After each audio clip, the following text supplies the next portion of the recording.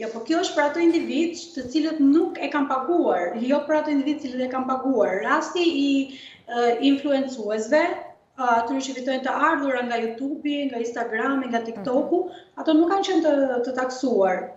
As nuk janë në këtë moment. Pra është për ato të cilët nuk janë, pra ato do të taksohen. Por ideja është këtu që mirë që do të taksohen, rregull shumë mirë. Si do bëhet? A do t'i njihen shpenzimet e tyre, sepse këto normalisht ushtrojnë një aktivitet e tjera e tjera, po ka dhe shpenzime.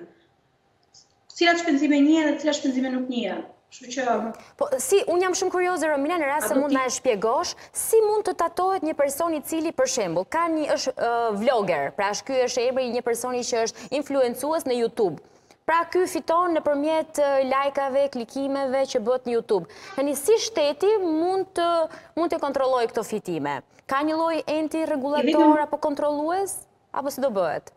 Në radhë të parë, e vetmja e vetmja mënyrë për t'u gjurmuar është tras, transaksionet bankare që i futen këtij individi. Mm -hmm. Ndërkohë që nuk është vendosur akoma se si do kontrollohen. A do vendoset një nipt për këto individë.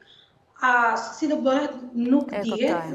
Shtetet e Bashkimit Europian kanë një nipt dhe i konsiderojnë si profesionistë, si profesionistë të lirë, që edhe ato nëse e zëmë nuk e paguajnë këtë taksë, ato do ta paguajnë në fund tek deklarata e të ardhurave vjetore dhe unë mendoj që shteti ynë pikërisht këtë ka bërë, ka marrë këtë ligj dhe është munduar që ta adoptojë dhe në Shqipëri që sipas Ministrisë së Financave thotë që nga 1 janari i 2024-ës Pra, youtubersat, blogerët, ato që merren me tregti online që shesin e blejnë në Amazon e tjera e tjera, do të tatohen në burim, pra tatimi i tyre do të jetë 15%, dhe nëse ato i shmangen, thotë, do t'i drejtohen, do t'i nënshtrohen përsëri, thotë një tatimi tjetër që është në fund të vitit që bëjnë me deklaratën e të ardhurave personale.